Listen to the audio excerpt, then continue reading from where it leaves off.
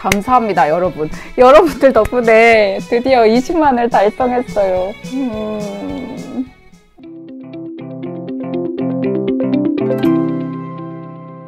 그래서 기념으로 준비한 20만 구독자 이벤트와 Q&A 영상입니다. 어, 안녕하세요. 이지은 다이어트의 이진입니다. 아이, 숫자에, 숫자가 그렇게 중요한 건 아닙니다. 난 수치에 연연하지 않지. 자, 제가 10만 때도 비슷한 이벤트를 했었는데 Q&A 영상을 못 찍은 이유가 질문을 그냥 받다 보니까 다이어트 정보에 관한 질문이 많더라고요. 단순한 답변으로 할 수 없는? 단순하게 좀 알려드리고 싶진 않은 그런 내용들이 많았어서 그런 부분은 많이 궁금해 하시는 질문 위주로 영상을 최대한 찍어서 공유를 해드렸고요. 그래서 이번 20만 구독자 이벤트는 사적인 질문만 받았습니다. 한번 답변을 해보도록 하겠습니다. 바로바로 바로 답변을 해드려야 되니까 뭔가 괜히 좀 설레고 긴장되고 합니다. 일단 사심부터 채우고 시작하겠습니다. 지니쌤은 언제 그렇게 예뻤죠? 왜 그렇게 예쁘신지 궁금합니다. 자, 이제 사심을 챙겼으니까 본격적인 질문 답을 한번 해보도록 하겠습니다. 스트레스 해소법. 오, 스트레스 해소법도 질문이 되게 많더라고요. 이거를 받으니까 되게 좋은 게 여러분들이 무엇을 궁금해 하시는지 알게 돼서 되게 항상 질문해 주시는 거는 정말 감사한 일인 것 같습니다. 아무튼 스트레스 해소법을 다음에 아예 한 컨텐츠로 잡아서 얘기를 나눠도 좋을 것 같은데 짧게만 얘기를 해드리자면 이 짜증이 이 스트레스가 어디서 왔는지 출처를 탐구하는 것이 저만의 해소법입니다. 그리고 내가 스트레스 받는 패턴은 항상 비슷할 거 아니에요. 그러면 그걸 알아서 알았으면은 이후에는 아 내가 이럴 때는 이렇게 스트레스를 받는 사람이니까 이건 하지 말아야겠다 이렇게 점점 줄여나가는 겁니다. 그러면 살면서 크게 스트레스 받을 일은 없는 것 같아요. 그리고 받았으면 내가 이것 때문에 스트레스를 받았는 걸 알게 됐으니까 지금 상황에서 최대한 해결할 수 있는 방안을 찾아내시면 됩니다. 그리고 긍정적인 방법도 이게 인터넷에 긍정적인 방법에 대한 설명을 되게 많이 하잖아요. 근데 제, 저는 긍정적인 편이긴 하지만 굳이 긍정적일 필요는 없다고 생각해요. 생각해요. 나는 긍정적인 사람이 될 거야 라고 하지 마시고 그냥 진짜 단편적인 예로 내가 만약에 10층의 건물을 올라가는데 엘리베이터가 고장난 거야. 나는 10분 내로 거기에 도착해야 되는데 그럼 계단으로 갈 수밖에 없겠지. 근데 그 10층까지 올라가는데 아, 내 하필 왜 이때 고장나가지고 아, 나 구두 신었는데 아, 너무 힘들다. 미치겠다. 하필 왜 지금 예약해가지고 이런 생각을 가지면서 가면은 내 마음을 짜증으로 가득 채워서 가고 내 그 시간이 짜증나는 시간으로만 남게 되잖아요. 근데 생각을 오 엘리베이터 고장났어.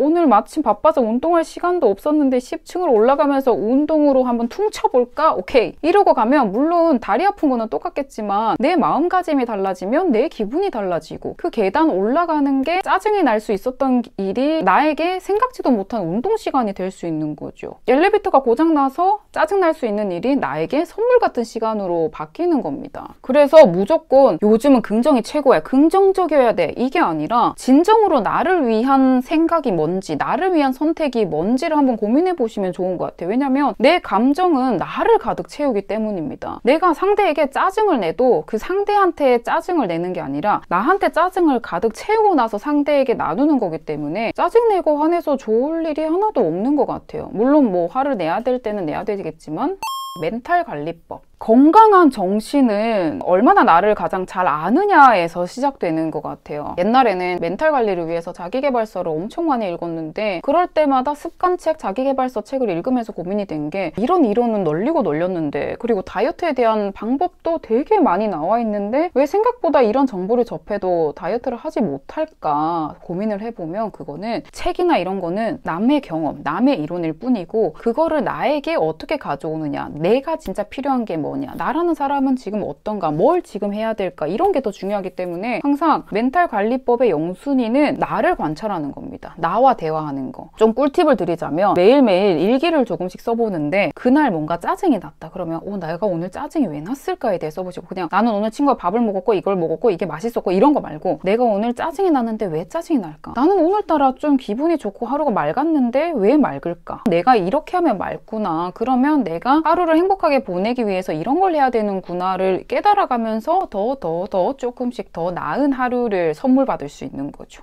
이게 저만의 멘탈 관리법인 것 같습니다. 결혼하고 싶은 남자, 이상형. 어릴 땐 되게 완벽한 남자를 선호했는데 사람은 완벽할 수가 없잖아요. 누구나 장점이 있으면 단점도 있는데 내가 절대 싫어하는 세 가지가 없는 남자이면서 이 세 가지가 뭐냐면 술, 바람, 폭력. 이 세 가지가 절대 없는 남자 중에 그가 가진 단점을 내가 평생 참아도 아무렇지 않은 남자. 그냥 상대의 단점을 너그러이 바라볼 수 있는 단점을 가진 남자. 그런 남자랑 결혼하지 않을까요? 그런 남자가 이상형입니다. 필라테스 강사를 시작하게 된 계기. 일단 이 계기에 대해서 저희 배경을 좀 말씀드리자면 저는 어릴 때부터 항상 내가 뭘 하고 살아야 행복하게 살 수 있을까? 내가 재밌게 할 수 있는 일이 뭘까를 되게 고민을 했던 것 같아요. 깊게 고민을 했다기보단 그냥 항상 그런 생각을 했던 것 같아요. 왜냐면 저희 엄마가 어릴 때부터 지은아, 네가 무슨 일을 하든 네가 행복할 수 있는 일이라면 난 뭐든지 좋아 라고 말씀을 해주셨기 때문에 그 영향을 많이 받기도 했고 그리고 또 삶에서 하면서 생각을 해보니까 보통 이렇게 어른들을 보면은 일을 중심으로 하루가 이렇게 움직여지더라고요. 휴가를 가더라도 일단 직장에 휴가 신청서를 내고 쉬는 날도 그렇고 뭐 월차도 그렇고 하루 중 대부분의 시간을 일하면서 보내는 걸 많이 봤기 때문에 그러면 내 하루가 거의 내 일로 되는 거구나. 그러면 일을 내가 좋아하는 걸 해야 되는구나. 그래야 내 하루가 행복하고 내 삶이 행복할 수 있겠구나. 라는 생각을 가지고 있었고 그리고 두 번째 배경을 말씀드리자면 저는 어릴 때부터 때부터 소화기가 상당히 약했습니다. 면역력이 휴가 간 사람이었어요. 호구한 날 아팠습니다. 진짜 많이 아팠어요. 제 이전에 그 감기 영상 보시면 그때도 얘기를 조금 해드렸는데 제가 진짜 너무 자주 아팠기 때문에 건강이 영순이다를 어릴 때부터 알았어요. 진짜 아무리 돈이 많은 것도 아무리 맛있는 걸 먹어도 아무리 좋은 곳에 뭐 아무리 좋은 차를 타도 아프면 다 소용이 없다는 걸 알았습니다. 그리고 나의 건강도 중요하지만 내 가까운 사람, 소중한 사람의 건강, 내 주변 사람의 건강 이게 삶 삶의 영순이라는 거를 알았기 때문에 사실 운동에도 접하게 된 게 다이어트보다는 건강 때문에 접하게 된 것 같아요. 그러다가 처음에 클라이밍을 시작하게 됐고 헬스를 접하게 됐고 또 헬스를 하다 보니까 궁금한 점이 생기고 이거를 채워줄 수 있는 게 뭘까? 아 필라테스구나. 근데 이거 너무 재밌어 보이는데 내가 하면 잘할 것 같은데 아 이걸 직업으로 가지면 내가 이거를 공부하면서 내 전문성도 높일 수 있고 내 건강도 챙길 수 있고 남 건강도 챙길 수 있네. 오 이거다. 이렇게 생각을 했던 것 같습니다. 그리고 유튜브 시작한 계기. 제가 SNS를 인스타그램으로 그래도 꽤 오래 한 편이잖아요. 한 3년 됐나? 네, 좀 3년 넘게 한 것 같은데 인스타그램은 사진 위주다 보니까 정보를 나눠드리는데 되게 한계가 있더라고요. 답답할 때도 되게 많고 저는 좀 TMI 말로 이렇게 많이 하는 스타일이고 운동도 많이 설명해서 알려드리고 싶은 스타일이어서 그래서 유튜브를 해야겠다, 유튜브를 해야겠다 이런 생각을 하다가 이 타이밍이 맞아서 잘 시작을 하게 된 것 같습니다. 인지도에 대한 부담? 알아볼까봐 부담스럽지는 않은지? 아니, 알아봐 주시면 되게 감사한데 되게 제가 친구들이랑 있을 때 이렇게 말을 조심스럽게 거시면서 되게 미안해 하시더라고요. 근데 저는 인사해 주시니까 되게 감사하더라고요. 근데 다만 좀 민망할 때는 이거는 착각일 수 있는데 진짜 폐인 쌩얼로 어디 가 있는데 이렇게 힐끗힐끗거리면 아, 혹시 알아, 알아본 건가? 라는 고민이 들 때도 있어서 그때 좀 민망한 것 같습니다. 근데 뭐 불편하거나 그런 건 없어요.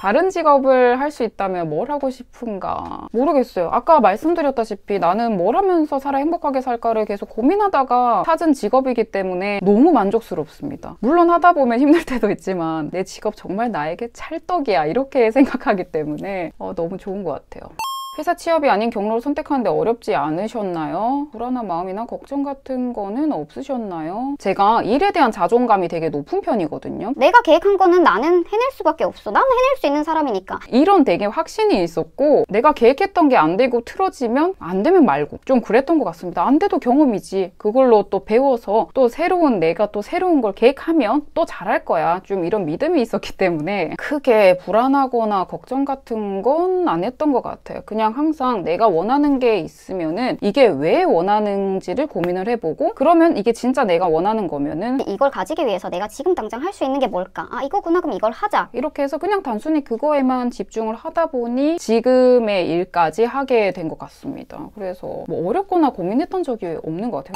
최종 목표는 무엇인가요? 인생의 최종 목표라고 하기는 좀 그런데 올해와 내년의 목표는 다이어트를 힘들어하는 분들이 이 책 한 권으로 정말 진짜 real 도움을 드릴 수 있는 내가 난 이만큼 잘했어 너희도 봐봐 이렇게 내 잘난 척을 위한 책이 아니라 진짜 읽는 분들이 새로운 깨달음과 도움 진짜 도움을 줄 수 있는 그런 책을 정말 쓰고 싶고요. 그리고 또 하고 싶은 거는 필라테스 샵보다는 정신 건강, 신체 건강을 다 챙겨 주는 다이어트 샵을 차려서 많은 사람들의 다이어트를 도와주고 싶은 욕심이 있습니다. 그리고 핫한 마흔이 되는 것도 꿈이고요. 그리고 내 가까운 사람의 건강을 옆에서 직접 챙겨줄 수 있는 사람이 되는 것도 꿈입니다. 어떻게 보면 이루기도 하고 못 이루기도 했죠. 그래서 최종 목표를 고민해봤는데 도인이 되는 것입니다. 만천하의 평화. 행복. 나는 무이기 때문에 행복하다. 이 정도의 사람이 되는 겁니다. 음. 운동 이외의 취미. 어, 이것도 은근 많이 물어보시더라고요. 제가 재밌어 하는 게 운동하는 거랑 원래 책 읽는 거를 되게 좋아했는데, 아, 뭔가 책이라는 게 그래. 그냥 뭔가 안 믿으시겠지만 안 믿으시려나? 안 믿으시겠지만 제가 좀 책 읽는 거를 되게 재밌어해서 책 읽는 거 좋아하고 일기 쓰는 거를 되게 재밌어요. 나에 대해서 일기 쓰는 거. 오늘은 내 감정이 어땠고 내 기분이 어땠고 나와 대화하는 시간 가지는 거를 되게 재밌어합니다. 이게 취미라면 취미고 아니라면 아닌데 근데 요, 아무튼 저는 요즘 이게 그렇게 재밌더라고요. 그리고 추천책? 제가 주변 사람들한테 책 선물을 할 때 영순위로 선물하는 책이 오늘 읽는 변호사. 그리고 두 번째로 좋아하는 책이 스님의 주례사. 그리고 올해 저에게 가장 많은 선물을 준 책은 와칭. 와칭은 원투가 있어요. 이렇게 세 가지 책입니다. 이 책에 대한 자세한 내용을 얘기하기에는 좀 말이 너무 TMI가 될 것 같아서 일단 이세 가지 책 추천합니다. 다음에 책에 대해서도 한번 얘기를 해볼까?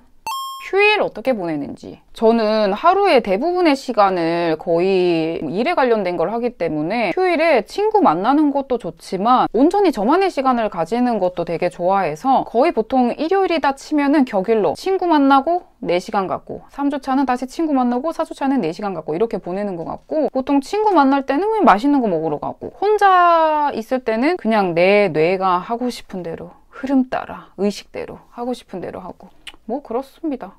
피부관리법. 피부관리법은 10만 대도 많이 물어봐 주셨는데 제가 이것도 영상을 찍으려고 했는데 지금 짧게만 설명드리자면 피부 케어는 내 내부적인 관리, 외부적인 관리 두 개 다 되게 중요한 것 같아요. 근데 그 둘 중에서 굳이 더 중요하다면은 진짜 내 몸 관리, 건강 관리. 왜냐면 내 몸에 독이 있으면 그게 얼굴로 다 나타나기 때문에 이너 케어가 훨씬 더 중요하다고 생각되고 외부적으로 관리하는 거는 사실 저는 크림을 막 열심히 바르고 막 이런 스타일은 아니거든요. 그냥 진짜 귀찮으면 크림 하나만 바를 때도 되게 많은데 각질 제거는 일주일에 한 번씩 꼭 해주는 편입니다. 제가 얘기 듣기로는 얼굴에 각질이 주기적으로 이렇게 탈각이 돼야 되는데 나이가 들수록 그게 잘 안 떨어져 나간다고 하더라고요. 그럼 그게 또 노폐물이 돼서 새로 크림을 발라도 흡수를 방해하고 그 노폐물들이 얼굴을 더 칙칙하게 만든다고 얘기를 들었어서 각질 케어는 일주일에 한 번씩 꼭 해줍니다. 그래서 제가 화장품에 대한 욕심은 없는데 각질 제품에 제품에 대해서는 되게 관심이 많아서 이것저것 막 사서 써보는 중이에요. 혹시 아 이거다 이게 진짜 세계 최강이다 싶은 게 있으면 꼭 공유해 드리겠습니다. 운동복 추천. 운동복? 레깅스, fit 업계의 최강은 안다르입니다. 안다르 정말 최고예요. 안다르는 이 골반 황금 라인과 허벅지 안쪽 이 라인을 제일 잘 잡아주는 것 같아요. 실제로 저도 운동복을 다른 데 입었을 때랑 안다르 입었을 때의 fit 차이가 있고 제 회원님들을 봐도 안다르 거 입었을 때 유독 라인이 살짝씩 더 이뻐지더라고요. 그리고 상의는 crop top이나 그냥 편한 상의 이것저것 좀 많이 입는 편입니다. 속에는 bra top을 입는데 bra top은 안 타이트한 거. 입었을 때 안 답답한 거. 사복, 쇼핑 장소 좋아하는 브랜드. 인스타 보면 진짜 가뭄에 콩 나듯 사복 패션이 한 번씩 올라오는 걸 봤습니다. 가뭄에 콩 나듯. 사복은 제가 핸드폰 만지는 걸 별로 좋아하지 않아서 인터넷 쇼핑보다는 코엑스나 뭐 강남역 그런 스파 브랜드 가면은 옷 입어보기도 되게 편하고 그리고 환불이나 교환하기도 되게 편한 시스템이어서 그냥 아 오늘 코엑스 좀 돌아볼까 하는 날 코엑스 가서 여러 그 스파 브랜드를 한 바퀴 휙 다 돌고 구입을 합니다. 주로 제일 많이 사는 곳은 아무래도 자라인 것 같아요. 제 인스타 스토리 그 올려둔 데 있잖아요. 있잖아요. 거기 아이템 정보란에 제가 제 정보 되게 많이 정리해 둔 게 있거든요. 거기 한 바퀴 싹 넘겨보시면 링크가 있는 게 있을 수도 있습니다. 앞으로의 공구 예정. 제가 유일하게 한 번 한 게 호박즙 공구잖아요. 그 호박 사과즙을 제가 되게 오래 먹다가 이거는 제가 원래 공구할 마음이 아예 없었는데 아 이런 좋은 제품은 사람들이 몰라서는 안 된다. 이거는 널리 알려야 된다. 좀 이런 마음으로 시작을 했는데 그 좋은 제품이 알려지는 회사도 좋고 그 좋은 제품을 받아서 만족하시는 지킴이 분들도 좋고 이분도 좋고 이분도 좋으니까 결과적으로는 저도 좋은 거예요. 그래서 이 삼박자가 좋았어서 그 공구를 했던 거라 앞으로 또 아 이거는 알려줘야 돼. 이런 거는 알려줘야 돼. 하, 이거 진짜 알려줘야 돼. 하는 제품이 있으면은 하겠지만 지금은 아직은 또 생각이 없는 것 같아요. 냉장고, 제 냉장고가 궁금하다고요? 제 냉장고 사진 찍어서 여기 올려드릴게요. 아, 제가 요리를 안 해 먹습니다. 저는 가끔 제 브이로그나 뭐 인스타나 보시면 아시겠지만 저는 다 사 먹습니다. 거의 다 사 먹어요. 그래서 없습니다. 뭐 건강식 먹고 싶을 땐 샐러드 사 먹고 한식 먹고 싶을 땐 한식 사 먹고 거의 다 사 먹습니다. 그래서 없어요. 술은 드시는지 궁금해요. 와인, 맥주, 술을 저는 한두 잔 먹는 걸 좋아합니다. 취하도록 먹는 거를 안 좋아해서. 그래서 아까 그 남자 술 좋아하는 남자 안 좋아한다는 게 진짜 필름 끊기도록 먹는 거를 좋아하는 남자를 안 좋아한다는 거였어요. 좋아하는 색. 제 좋아하는 색. 핑크, 화이트, 블랙, 블랙. 하지만 최애는 핑크. 나무는 잘 지내는지 우리 나무 잘 지냅니다 여기 아 그럼 질문은 이제 여기까지 받고 마지막으로 인상 기억에 제일 남는 댓글 하나만 읽어드릴게요 지은 언니, 언니는 내 인생 못해요. 언니, 제 인생은 언니를 만나기 전각으로 나뉘어요. 전에는 우리나라 숨겨진 축구 국가대표 등번호 12번이 저희만큼 종아리가 굵었는데 요즘은 사람다워져서 애들이 많이 놀래요. 언니, 언니는 제게 비치고 태양이에요. 태양이랑 바람이랑 대결했을 때 나그네의 겉옷을 벗긴 건 태양이듯이 지은 언니 태양은 저의 종아리를 말끔히 벗겨버렸어요. 슈퍼 짱짱 사랑합니다. 언니 벌써 20만이라는 소식 듣고 학교 마치자마자 헐레벌떡 뛰어왔지 뭐예요. 아 이번 거는 답변을 제가 다 하겠습니다 너무 귀여웠어 1. 언니는 뭘 드시고 그렇게 cute cute 하신 건가요? 지킴이의 사랑 2. 언니 저는 집 잘 지키고 낯선 사람 보면 잘 짖어요 저 어때요? 우리 나무는 낯선 사람 보면은 따라가서 안겨 있더라고요. 참 언니 위에 건 농담인 거 알죠? 언니 앞으로도 슈퍼이키 유튜브 해주세요. 80살 넘어서도 언니 유튜브 볼 것이. 아무튼 여기까지 Q&A를 마치겠습니다. 이번에는 인스타랑 유튜브 두 매체로 다양하게 질문을 받아봤는데 이 중에 다섯 분을 추첨해서 그 알려드린 요 푸른 사과즙 이게 제가 공부했던 호박 사과즙 회사의 신제품인데 오 되게 맛있는 포도즙 맛이 나요. 그래서 이미 여러분들이 아시는 호박 사과즙보다 요거 드셔보시는 게 좋을 것 같아서 요거 다섯 분께 한 박스씩 선물로 어디 갔지? 어디 갔지? 이거 보내드리겠습니다. 지금까지 이지은 다이어트의 아니야. 그럼 지금까지 20만 유튜버의 이지은이었습니다. 앞으로도 꾸준히 더 좋은 영상과 컨텐츠로 찾아올 것이고 저는 항상 한결같은 겸손하고 진실하고 성실한 이지은 다이어트가 되겠습니다. 너무 감사드려요. 안녕!